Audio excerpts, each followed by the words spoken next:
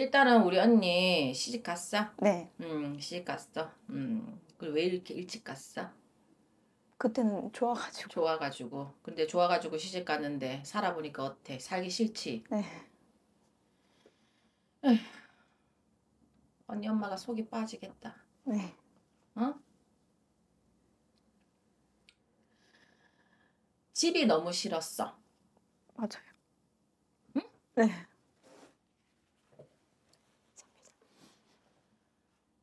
그래서 부모님이 싫은 건 아니야. 네, 맞, 맞아요. 부모님이 싫고 부모님이 원망하고 이게 아니야. 그냥 집이 싫었어. 집이 싫어서 빨리 벗어나고 싶고 그냥 내 삶을 찾고 싶어서 언니가 그리고 뭐를 일을 하는 것도 내 맘처럼 안 되고 그러니까 시집이나 가자. 남자도 있으니까. 뭐 이 사람 괜찮은 것 같고 날 책임져 줄 것 같고. 네, 맞아요. 그지? 네. 한치도 안 틀리죠? 네. 그래서 그냥 단순한 마음에 좋으니까 집은 떠나고 싶고 내 삶은 찾고 싶고 근데 그게 내 일이 아니라 내 능력이 아니라 그냥 가정이고 네. 그러다 보니까 애도 생겼고 네. 어? 네. 이게 살아보자 하고 이렇게 갔단 말이지. 네. 근데 막상 살아보니까는 이거는 너무 아니야. 숨 막힌다 그래. 네, 맞아요. 숨이 턱턱 막힌다 그래. 남편이 너무 숨 막히게 해 언니를. 네. 어쩔 때는 감시당하는 것 같고 전화 오는 것도 내가 걱정이 돼서 궁금해서 전화 오는 게 아니라 감시처럼 느껴져. 네, 맞아요.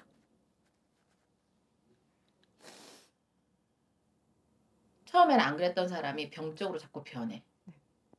정도가 자꾸 심해져. 네. 12년 됐는데 갈수록 더 심해져요. 그러니까 네. 가면 갈수록 더 심해져 이게. 처음에는 안 그랬던 사람이야. 음. 그렇다 해서 언니가 네. 내가 뭐 유책 배우자가 되든 네. 내가 뭔가 잘못한 게 있으면 네. 실질적으로 정말 그 잘못한 게 있으면 그래도 내가 잘못한 게 있으니까 네. 좀 이해가 가는데 네. 그런 것도 없단 말이야. 네. 그냥 난 최선을 다하고 살고 있는데 안 살고 싶지. 네. 과연 놔줄까? 안 놔줄 것 같아요. 그죠? 그래서 못 이혼해. 놔주지는 않으면서 바뀌지도 않으면서 음. 고쳐지지도 않고 언니를 자꾸 소나기에 지려고만 하고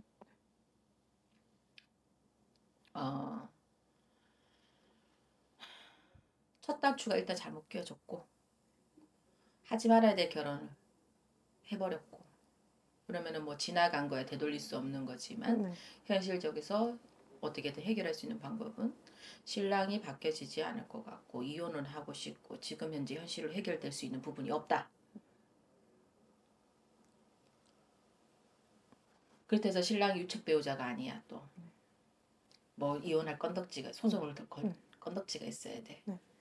그래야지 내가 뭐 그러는데 그런 게 없기 때문에 이혼을 소송을 하게 되면 또 길어질 것 뻔하고. 네. 응. 신랑은 지금 제가 봤을 때는요 자기 자, 자기의 잘못된 부분을 인지를 못해요. 몰라요. 언니가 수없이 소리를 지르고 울며 불며 얘기를 했지만 신랑은 그게 뭐가 잘못됐는데라고 오히려 반문을 해요. 네, 맞아요. 그러니까 대화를 할 수가 또 대화, 없어. 대화가 안 돼요. 응. 말이 한 네다섯 마디 이상 오가면 싸 무조건 싸워요. 음. 싸움으로 돼요. 그러니까.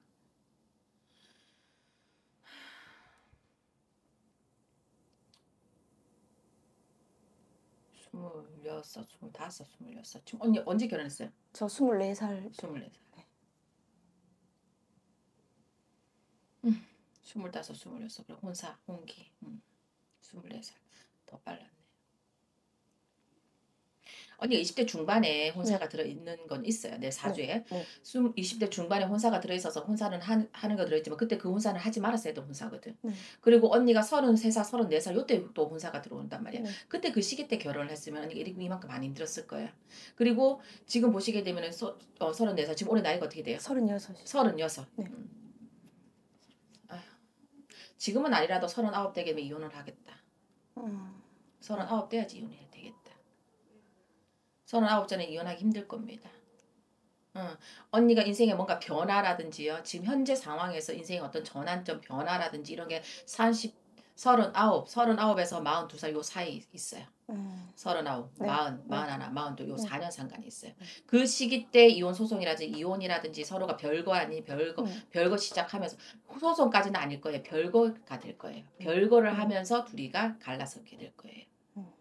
음. 그러니까 이혼 도장을 바로 찍는 게 아니라는 거죠. 네. 이혼을 가기 위한 어떤 수순이 필요한데 네. 뭐 관제 뭐 법적으로 뭐 이게 아니라 네. 서로가 진짜 뭐냐면 그냥 남남처럼 이별을 하면서 네. 어 그냥 법적으로도 뭔가 결론이 나는 그래서 네. 단시일적으로 뭐 올해 이혼하자 올해 끝 이게 아니라 질질질 끌면서 한 3, 4년이 걸리면서 이혼이 될 거예요.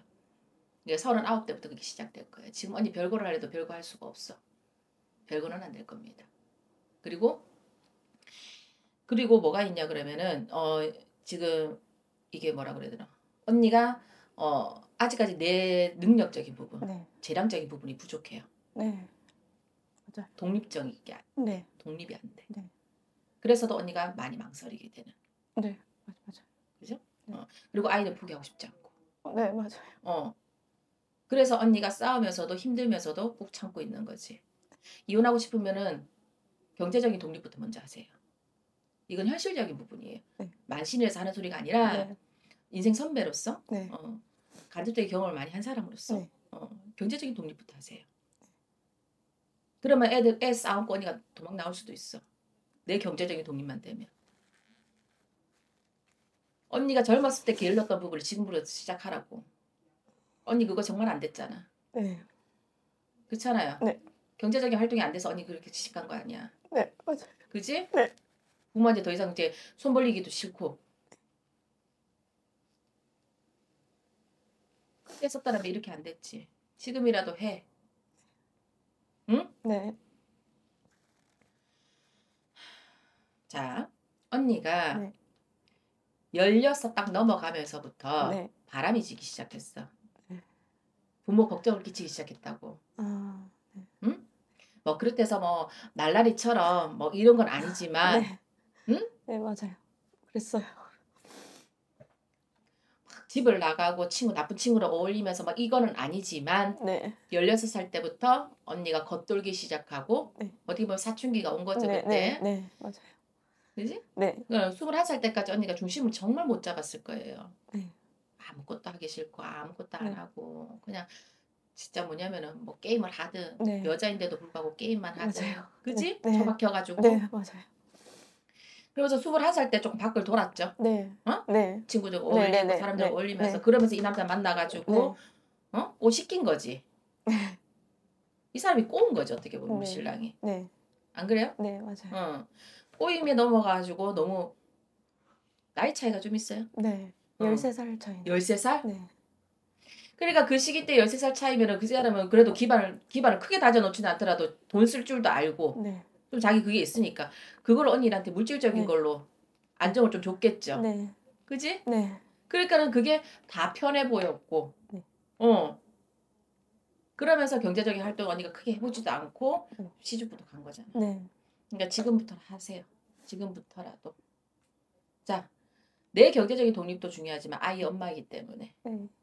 어, 아이 엄마이기 때문에 하셔야 네. 됩니다. 네. 알겠어요? 네. 어, 여자든 남자든 자기 수중에 돈은 어느 정도 있어야 돼요. 음. 음.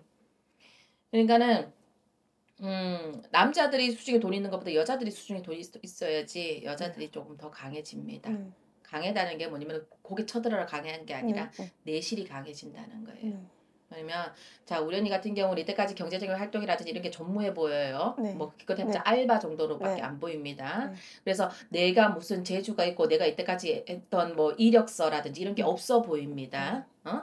그래서 지금도 마찬가지예요. 언니가 지금 경제적인 활동을 하려고 그러면 네. 뭔가를 배워서 내가 정확한 직업을 찾아서 하려고 하지 마시고 네. 밖을 나오세요. 일단 알바라도 하세요.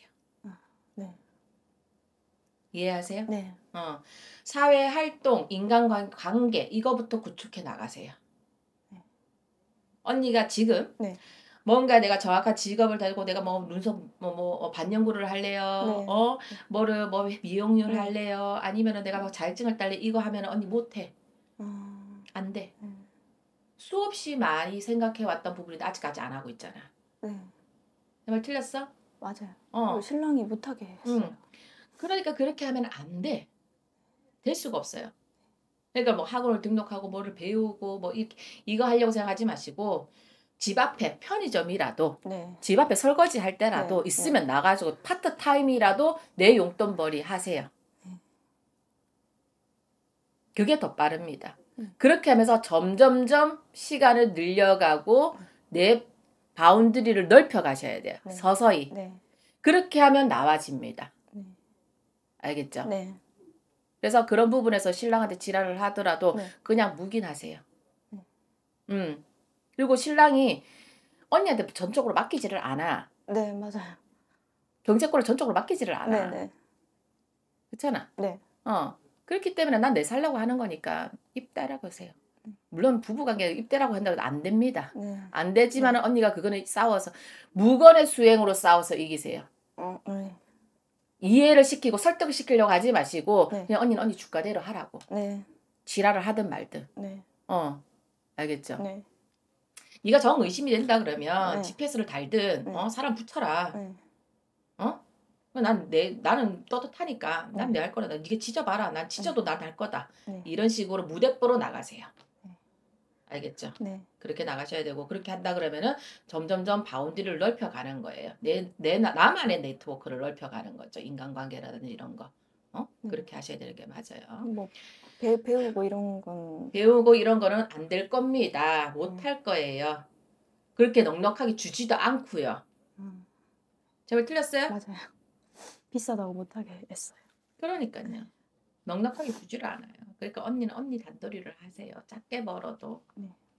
네. 이렇게. 네. 응.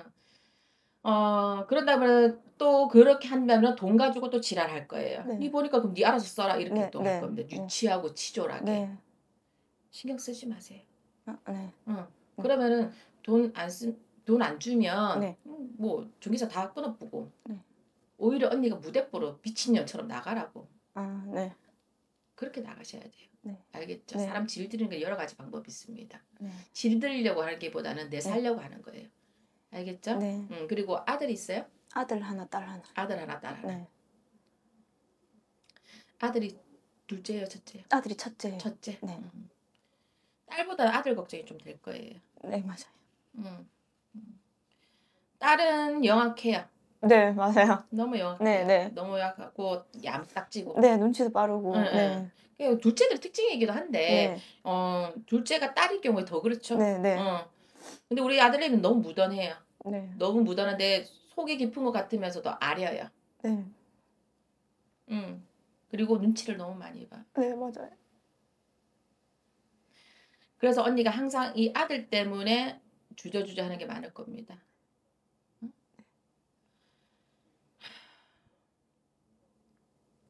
아들은 네. 언니 음, 소심하는 것 같으면서도 황소 고집이에요. 네, 맞아요. 맞아요. 고집은 엄청나게 네. 큽니다. 고집을 잘 피우지는 않는데 고집 한번 네. 피웠다면 되게 황소 고집이에요. 네. 딸보다 더 고집 세요. 네. 아빠의 기질도 많이 닮았어요. 고지식한 거. 네. 외골수는 거. 네. 근데 아빠랑 부딪힘이 많을 겁니다. 네, 맞아요. 아빠 싫어요. 네. 또 아빠도 이 아들에 대해서 자꾸 입을 대요. 네, 맞아요. 가만히 있으면 되는데 네, 맞아요. 자꾸 아들한테 잔소리라든지 네. 어? 그것 때문에 또좀 자꾸 많이. 후닥가요. 네, 맞아요. 그러니까 아, 아들이 어떻게 돼요? 안 그래도 소심한 아이가 네. 더 위축되고 네. 더 자존감 떨어지고 네, 맞아요. 그러니까는 이거를 이 아, 우리는 그러잖아요. 부모 입장에서는 아이들한테 가정을 빼주고 싶지 않아서 원만한 가정을 가지고 싶고 아이들한테 이혼한 부모가 안 되기 위해서 노력을 하는데 음 우리 아들한테는 네. 어떻게 보면 아빠라는 존재로 인해서 우리 아들이 더 이게 자존감이 낮아지는 하나의 계기가 근데 우리 신랑이 대화를 해서 이해가 되고 서로 이제 뭘 고치려는 노력이 있다 그러면은 네. 서로 막 계속 이제 어, 시행착오를 겪어가면서 이렇게 가면 되는데 그게 안 되기 때문에 아들은 될 수 있으면 일찍 집을 떠나는 게 좋아요. 아, 맨날 엄마랑 둘이 나가서 살고 싶다. 네. 어. 근데 진짜 아이러니한 게 뭐냐면요. 우리 신랑도 그랬거든요. 네. 자기 아버지를 두고. 맞아요. 그랬어요. 똑같아요. 네. 신랑이 아버 자기 아버지 시아버지화 네. 돼가겠어요.